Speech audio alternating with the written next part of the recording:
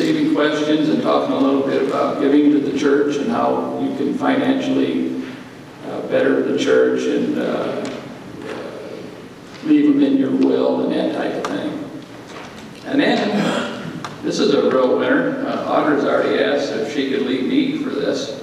Uh, Parents' Night Out, Friday, February 9th, from 5:30 to 8. Pastor Tim's group is going to uh, babysit. And am I welcome? To help with the kids, yes. Oh, no, I asked one of the kids. So uh, from As long 5:30 as to... you're not disruptive. Uh, I would never. No guarantees. No guarantee, no guarantees. And then, if you've lost a pair of glasses, uh, looks like we've accumulated quite a collection, and they're outside of Deb's office. So if you're missing a pair of glasses, look there. Pastor Tim and I went and visited Joyce Gugstein on, I think it was Thursday, Wednesday. And uh, after visiting with Joyce, Joyce has always been a uh, idol to me somewhat. Uh, just, she has done so much for this community, and uh, Joyce just put the word grace into my mind. And then after I read my devotions this morning, three of them talked about grace. And uh, in Christian terms, grace is defined as God's favor toward the unworthy or God's benevolence on the undeserving. In God's in His grace, God is willing to forgive us and bless us even though we fall short of living righteously. And I think we all do that, but it's good to know that God has given us grace, whether we deserve it or not. So let's pray and get things started this morning. And uh, we have a good, good service with Pastor Caleb getting ready to go here. Lord Jesus, we thank you that uh, you got us all safely here this morning. It's kind of an unexpected snow. Lord, we thank you that we have the privilege and the honor to praise you.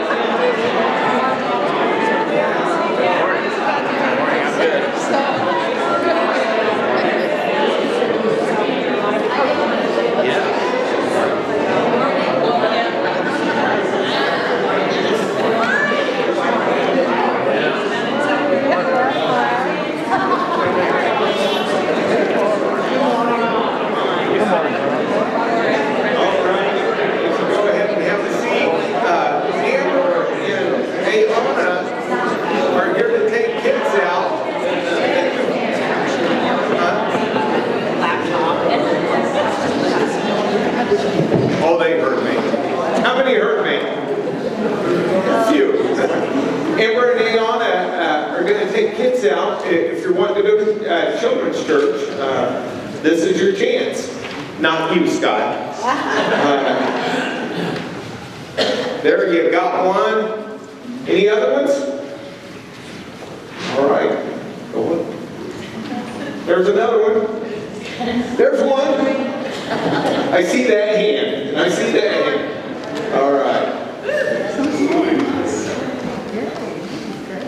Um, I was reading in my devotions today, and how many were surprised by the snow? You know, I, I got up this morning and I thought, for once on a Sunday morning, I'm not going to have to shovel snow. Maybe in June. But, uh, but I was reading my devotions. Uh, it's the story of Jesus healing the paralytic. And, you know, it, he had friends that brought him to Jesus. And uh, Jesus says, Take courage, son. Take courage, son. And that take courage um, just uh, spoke to me uh, this morning. Take courage. Take courage, son. Take courage, daughter. And actually, I looked at it in a couple of different versions. Uh, one is, uh, has it be encouraged. Uh, and then another has take heart. Take heart. And, and I got to thinking, what do we have to take heart about? What do we have to uh, take courage about? And I I thought one of the main things that's said over and over again in the Bible is, Fear not, for I am with you. And then we have all the promises of God. Uh, the promises that saints down through the years have found true. And uh, we can be encouraged about that. Uh, we can be encouraged uh, about what God's done in our lives in the past. And, uh, and He's seen us through, uh, how many have been seen through a trial or two in your life? It- you know, and the fact that He's done it before gives us confidence and faith to believe that He'll do it today. He'll do it now.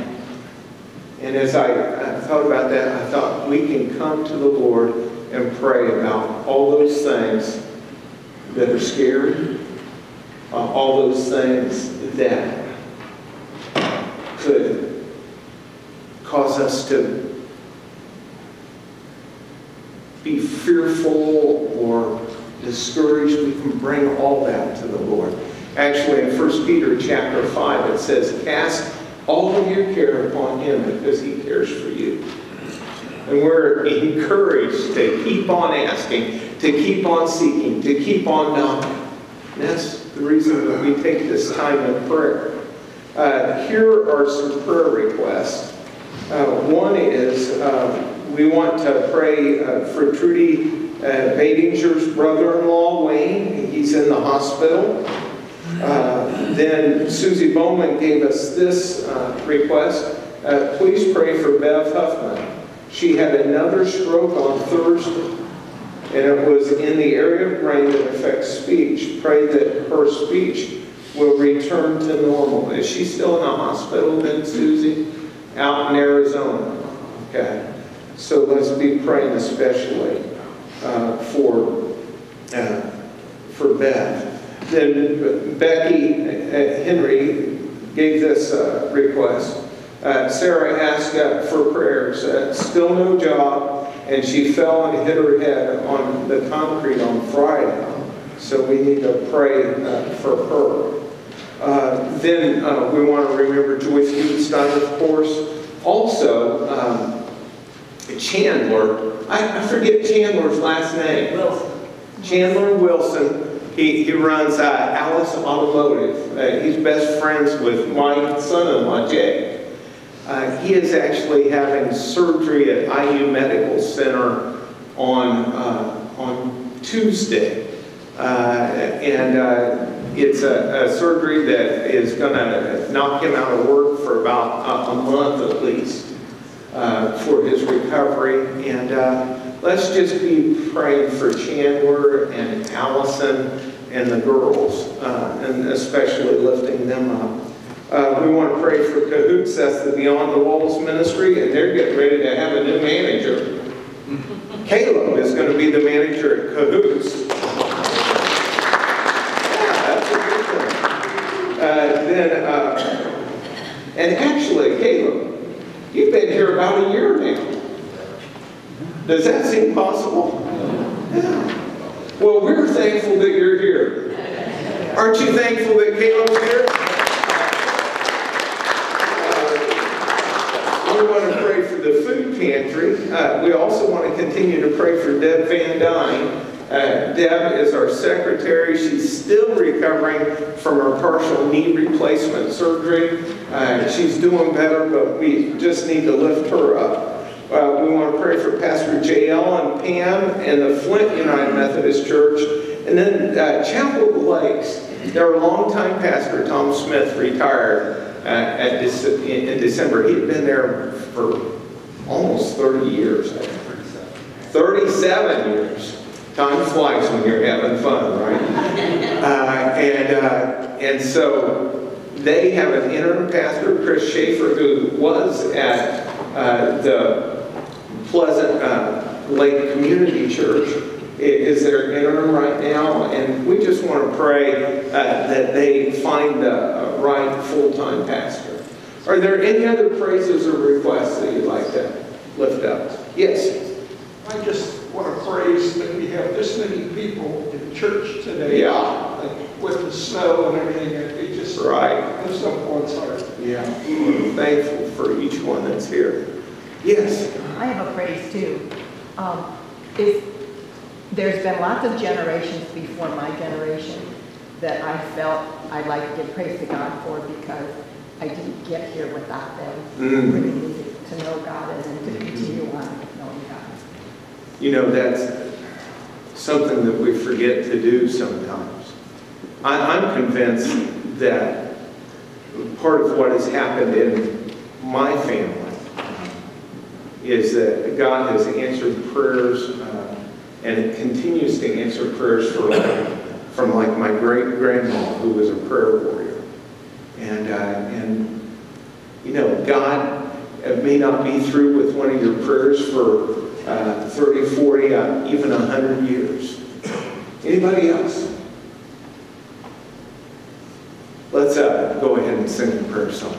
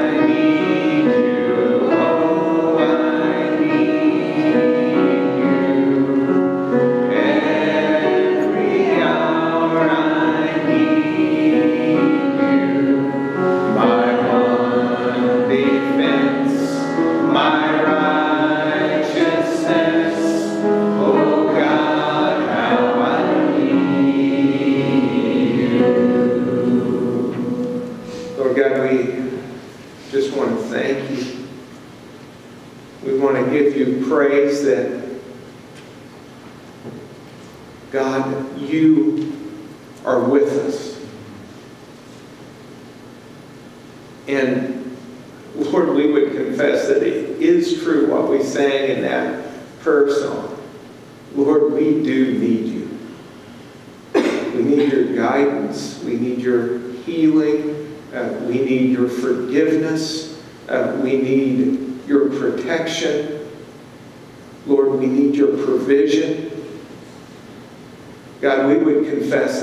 without you, we, we can't do anything of eternal value or significance. But Lord, we are so thankful that you choose uh, to partner with folks like us to see your kingdom work done. That, that you delight in us trusting you. You delight in us stepping out in faith with you. And Lord, that you want us to be encouraged today. You want us to take heart. And Lord, we, we just give you praise for that. I, I pray that you would be with uh, those who are discouraged today, uh, those who are facing trials, those who are uh, facing temptation. God, I pray that you would just minister to them today. May they be encouraged in your precious name. And brothers and sisters, you've heard the prayer requests that have been given. Would you just, uh, in your hearts, pray for uh, two or three of these requests that resonated with you?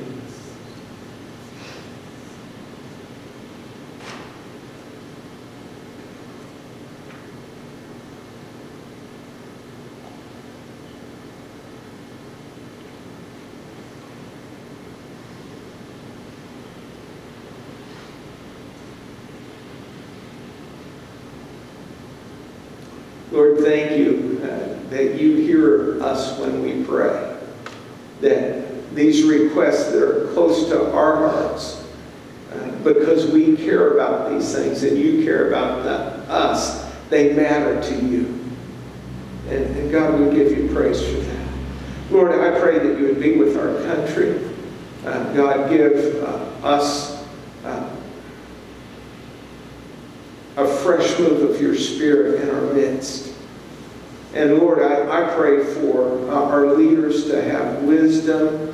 And uh, God, as elections take place, uh, may we as a people be wise. Uh, Lord, uh, just rule and reign in our country. And may uh, you continue to bless um, us as a country so that we can be a blessing to the world.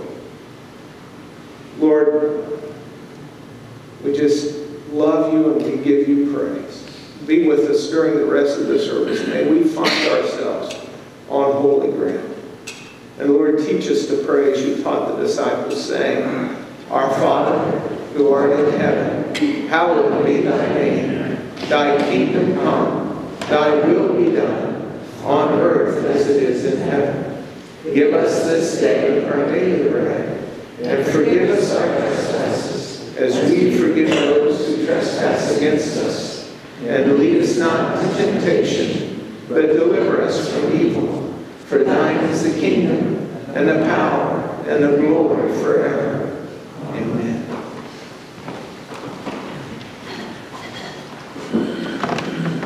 If you have not already done so, please come forward and place your offering in this basket.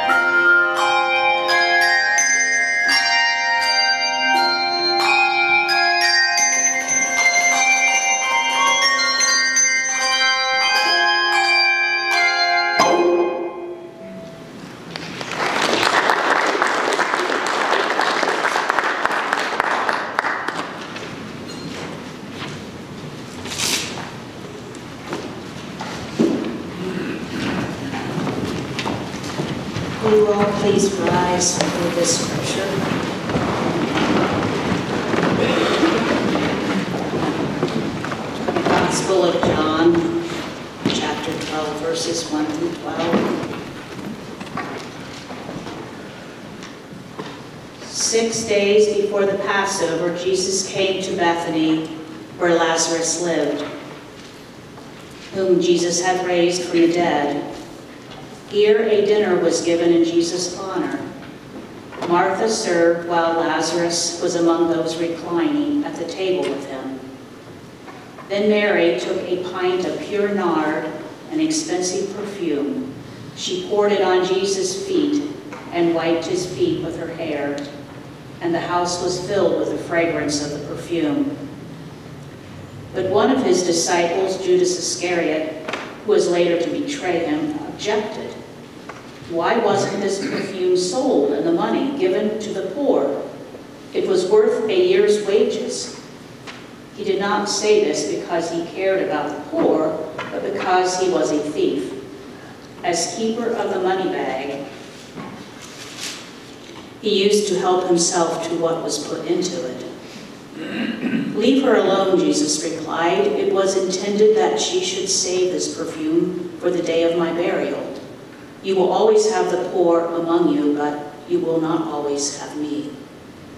Meanwhile, a large crowd of Jews found out that Jesus was there and came, not only because of him, but also to see Lazarus, whom he had raised from the dead. So the chief priests made plans to kill Lazarus as well, for on account of him, many of the Jews were going over to Jesus and believing in him. The next day, the great crowd that had come for the festival heard that Jesus was on his way to Jerusalem. This is the word of God. Thanks be to God.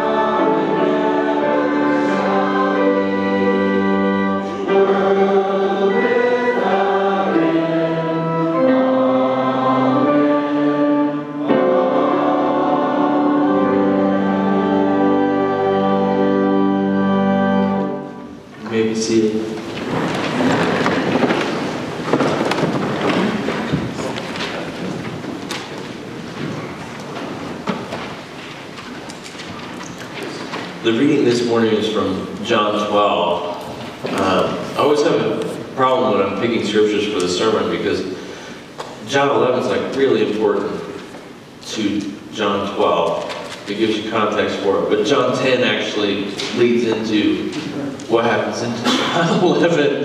And then you start going like, why don't you stand and we'll just read John to you. And after that, I might talk for a minute.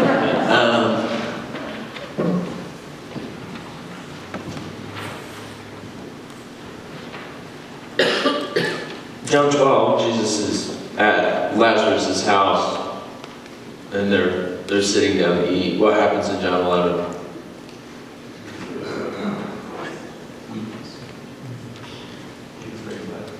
Right, Lazarus is dead. In John 11, um, he's fairly dead. Four days there. Four days in to being dead. Um, the other thing that happens in John 11 is that Jesus finds out that Lazarus is dying, not that he's dead.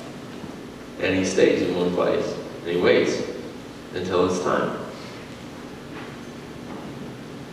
Uh, whenever you're reading scripture, I have found that there's more and more clarity if you have more context. And unless you're extremely well versed and remember before what's going on, reading John 11 without John 10 is, Reading John 12 without John 11 is tough. And so when when I'm bringing people up and reading scripture, my thought is always read as much as you can in one sitting. You will have so much more clarity the more you read at one time. Um, results don't really vary with that. It is always more effective to read larger chunks. Uh, but people's availability, I understand, different. Uh, but reading verse by verse, you have to be extremely knowledgeable for it not to end up being uh, less effective than it could be.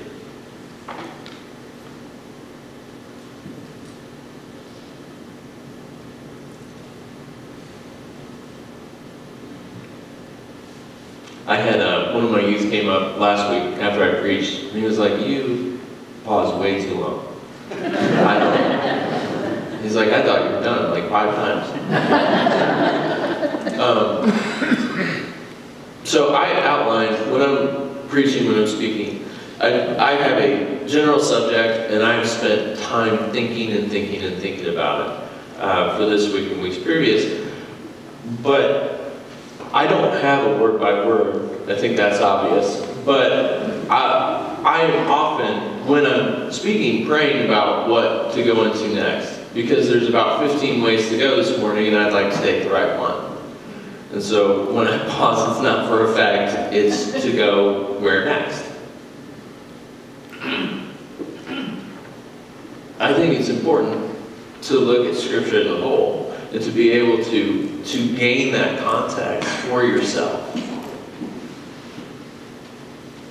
So that you know that Lazarus just died and that Jesus let him die.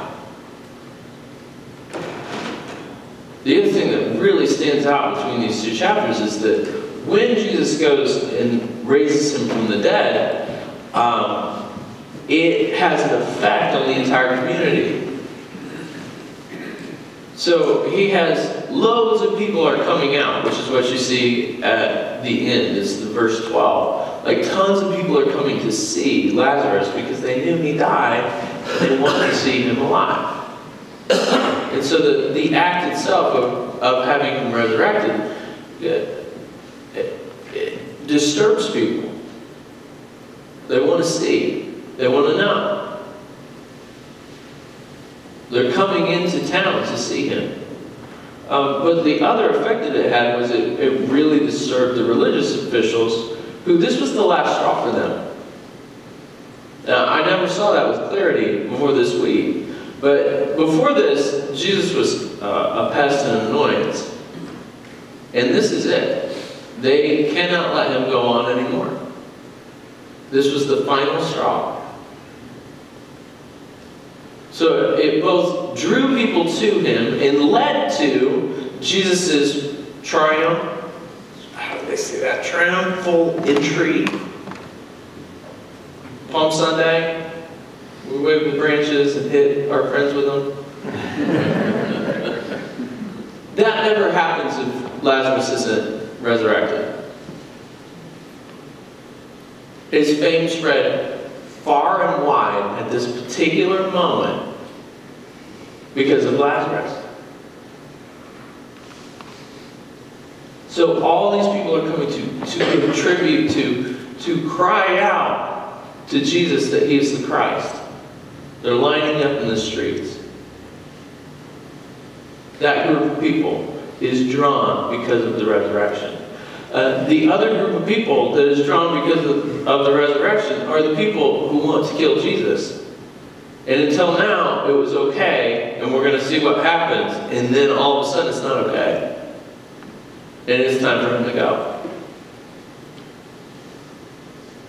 Both sets of people are set into motion by what happens in John 11.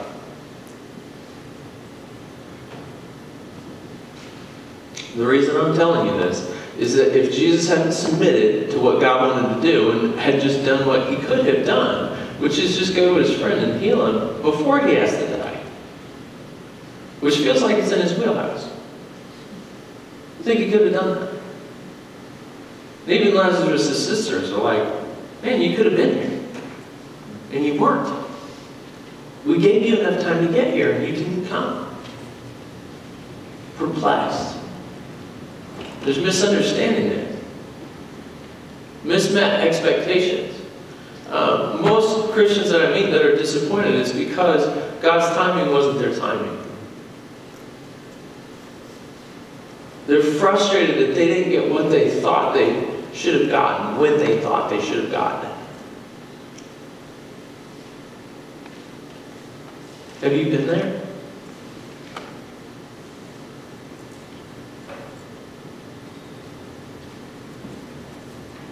But what happens because it wasn't their timing, but it was God's timing, is that all these things go into motion, and it's the exact right time for Jesus to go to Jerusalem and to be crucified and to die himself. And it was through Jesus' surrender in this that he was able to stir the pot the way that he was supposed to. It was through his submission to let his friend die that he got to go into Jerusalem the way that he was supposed to go in, which is with some people cheering and others getting ready for an assassination.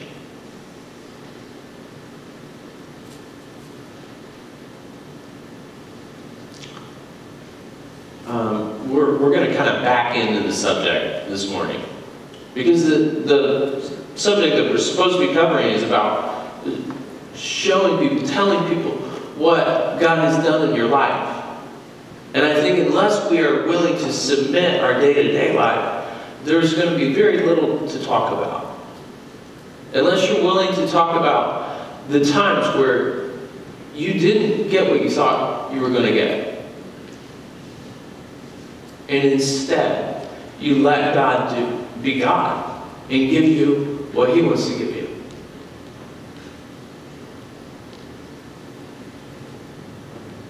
Testimony isn't about us, it's about what God has done. It's about what God has said. It's about His faithfulness. It's about Him being trustworthy and true even when we didn't understand. And we so often don't.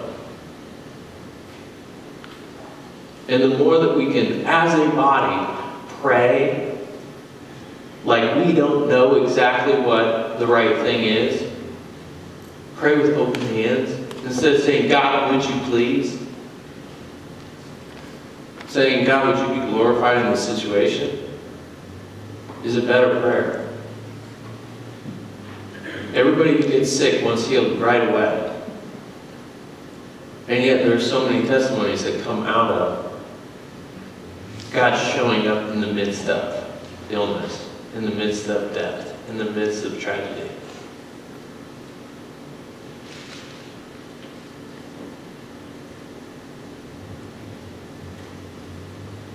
Tell you're excited about it. Part of us being able to tell people about God is being in submission to Him. If we're not in submission to Him, we, we will miss what He is doing while we are trying to do what we want. While we are trying to manipulate our own circumstances. While we're trying to create an open door instead of waiting for Him to open the door. Does all that make sense?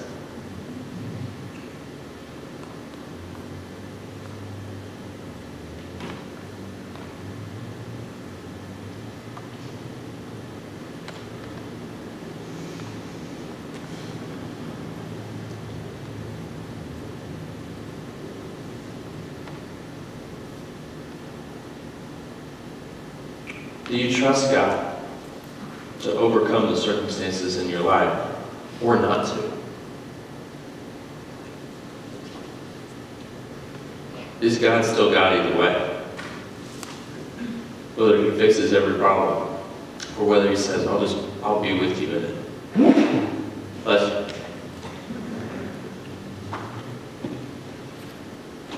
Are you with me? Are you awake?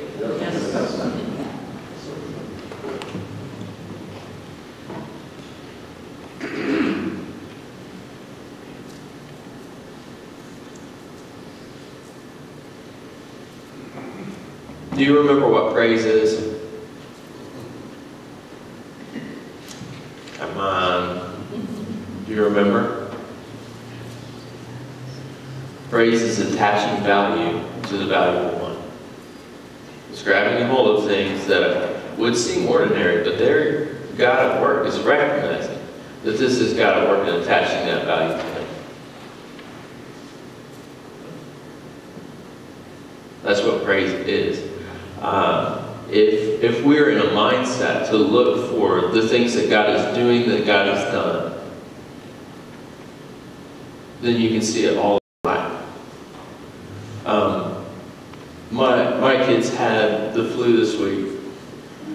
Pretty much all week. They just traded off. one gets over it and, you know, it's time to share. Um, and I don't know why, under stress and duress, I like rise like I don't go away from it. I am better than my normal self under tremendous circumstances. And so I generally do a lot of taking care of them in the midst of um, vomit. So, uh, sitting up with them during the night and then going to work in the morning, uh, you would think, man, that is crazy that this is happening. And you, uh, very easily, you'd be like, God, why? Um, I don't want to think that way. I would rather do something else. I mean, it's very easy to complain about your life if you want to. Uh, some of us have made a practice of it and we're extremely proficient. Um, there is not a single verse in the Bible that says complain about your circumstances. Not a single one. And so we've honed a skill that it, it has no eternal value whatsoever. And um, no earthly value either, if you want to know the truth of it. It doesn't help you, right? It, complaining about the flat tire does not make it better. The tire's still flat either way. And so what we, we have the opportunity to do, um, and I'm going to use this week as an example. I am so grateful to have kids that have an immune system, so the body is working it out. It's not going quite as quick as I was hoping. Um, but there, you're healthy, when you get sick, your body fixes it. Which I think is like a huge amount of miracles in a row. If your car did that, you would like it a lot better, wouldn't you?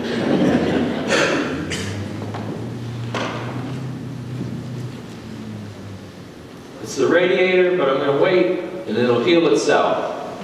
It's not. It's not going to do that. There's actually very few things other than organic life that does, that does that. And so we get to see God at work, His design, as they work it out. And some of them get crazy temperatures and see visions. Uh, my, my kids, when they're sick, have a tendency to get very high fevers because their body's burning it out. And they say the craziest things you've ever heard while they do that. But in the midst of it, you get to see their body is working the way that God designed it, and they are not going to be sick in a few days. Well, that's amazing. It's a huge blessing.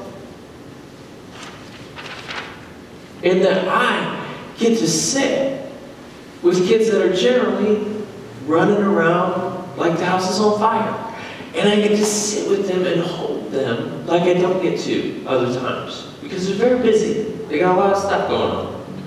A lot of stuff to do. And they're just sit in my arms.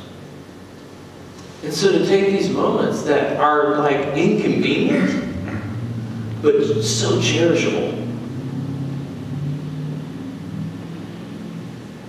And when you start talking about your circumstances like that to other people, they do not know what to do.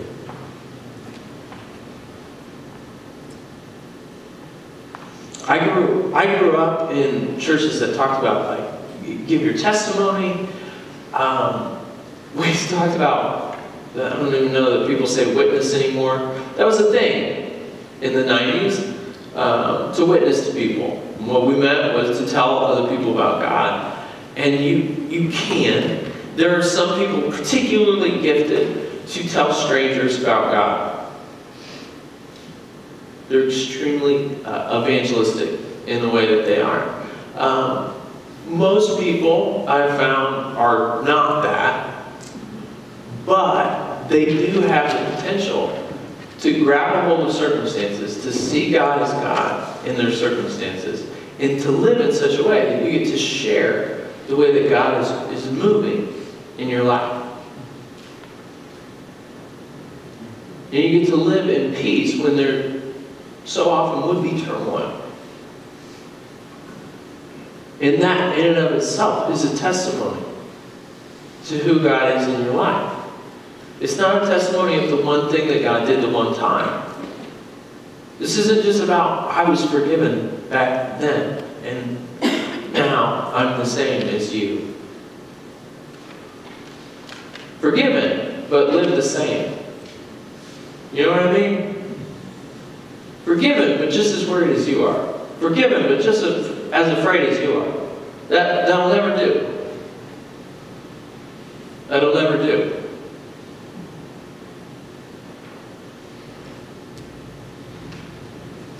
How are we to say that we believe that God is God, that He is in control of all these things, that He's going to see us through, that He's faithful, that He's trustworthy? Obviously, we're very afraid. They don't mix. The two messages don't mix, so it's one or the other. And which one is it? Have you decided? And are you ready for a change?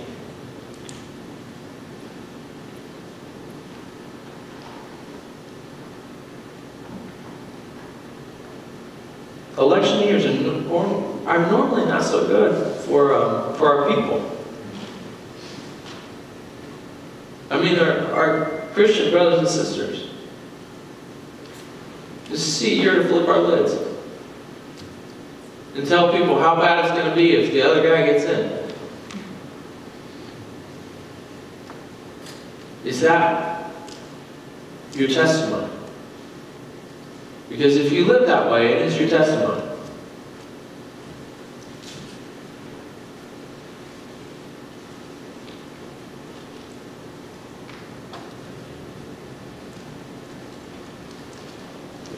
Tell people about being saved, it has to be a lifestyle. Can't be a moment. It has to be a lifestyle where we're secure, where we're cherished, where we really do trust.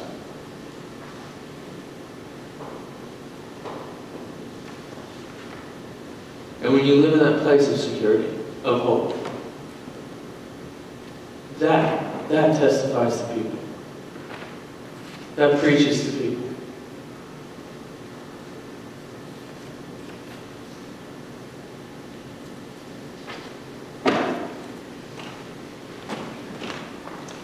The other thing that's really cool about that is it, as you live in a place of peace, and um, you, you aren't thinking so much about your own circumstances, and you get to talk to other people differently. You get to talk to people intentionally. Ask them what's going on with them. If you feel like your house is on fire, you're never asking somebody else how their house is. You will continually tell them about your house that's on fire. Yes? You're not going to meet somebody on the street and go, how's your house done? You're going to go, my house is on fire. And so if your circumstances are a house on fire constantly, I promise you're not talking about anybody else. And you're not open to talking to anybody else about their stuff. But if you're in a place of security, in a place of peace, which is not based on circumstances, it's based on your belief. It's not based on whether all your kids are well at home or not. It's based on who you believe in. And whether you trust them to take care of you. Not that everything goes perfectly, but that He is perfect.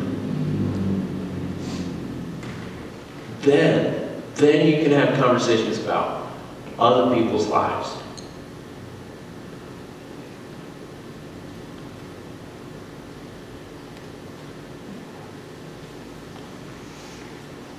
I have a couple one-offs. Do you want those before we go? Sure.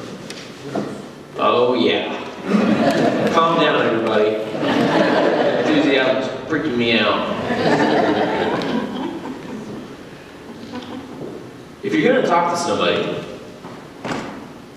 about your belief, um, you have to love them to talk to them about that. And if you don't love them, you should not talk to them about it. Or anything, probably.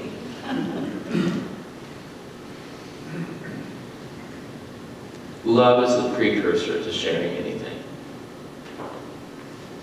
Because sharing your faith is sharing your life. And you can't share your life with your enemy unless you love them. They will not be interested in the way that we share with people that we already think are wrong. Doesn't come off very well. So love is a precursor to sharing. Uh, often, often, hear me say often, not always. Often, you have to set aside being right to love. If you base your actions and your conversations on who's right and who's wrong, you are already in a bad place in that conversation.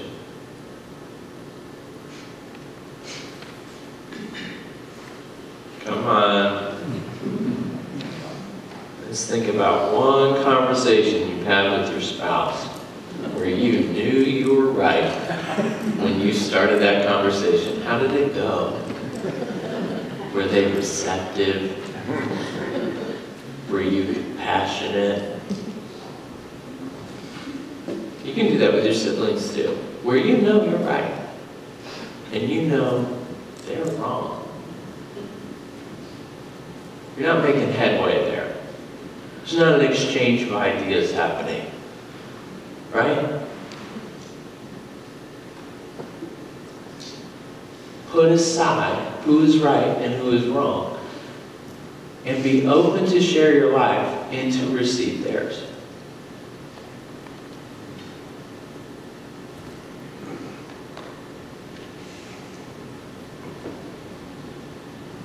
Who are the best people to give advice to?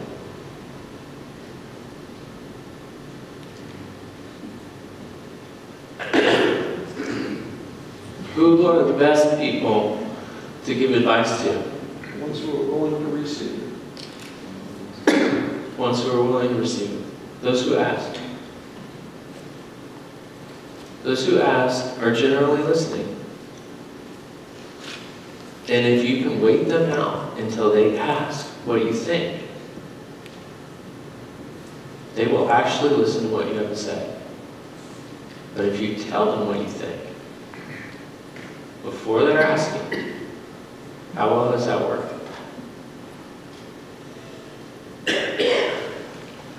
It's not, it's not so good, but it's not that complicated either. And, and the circumstances that arise where people ask you for advice are generally when they know you love them and they know you're rooting for them. So if you're not in that place yet, and you're not willing to get to that place, put your advice on the counter. Leave it at home. Because even if you are right, nobody's listening. And when you give good advice to people who are being foolish, and you realize that they're being foolish, and they're not going to listen, you get upset. Because you know you're right. But that doesn't like make the relationship better or let you live in peace. Yeah? Part of the reason why I thought that these verses, this, these chapters were so interesting is that Jesus didn't go out and go, okay, we got this great miracle coming up. Everybody come over here. Like he went there, did the stuff, and people came. People came to him. And so when we talk about sharing our faith, live your life in such a way that someone would want to come to you and go, What are you doing? How are you doing this? What is different?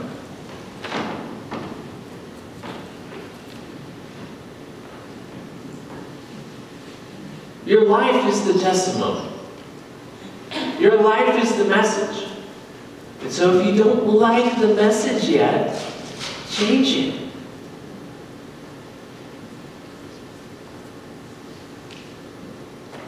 Be intentional to surrender your life and let God be God. To live in a place of peace where your circumstances don't run you.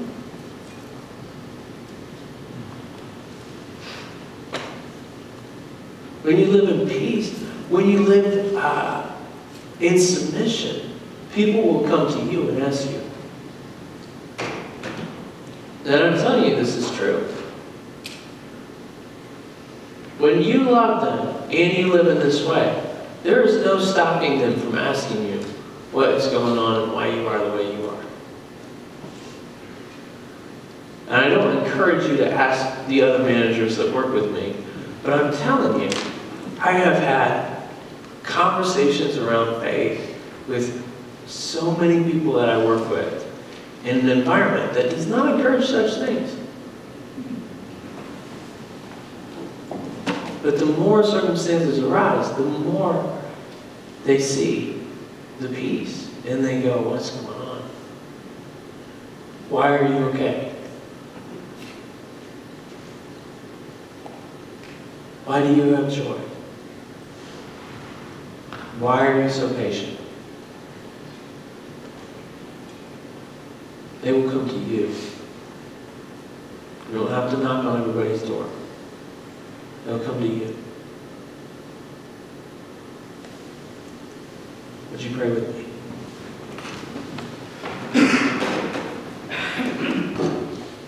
God, we thank you for your faithfulness, for your gentleness with us.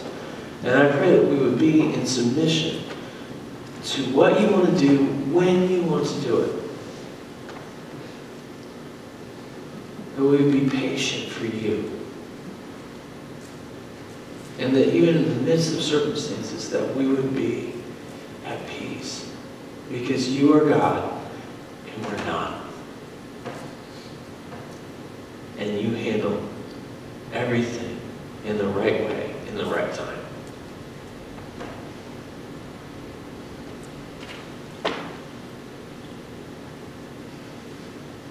God, I thank you when we pray and that you have the wisdom to overlook the times where we're trying to strong arm you into doing what we want. God, we want what you want.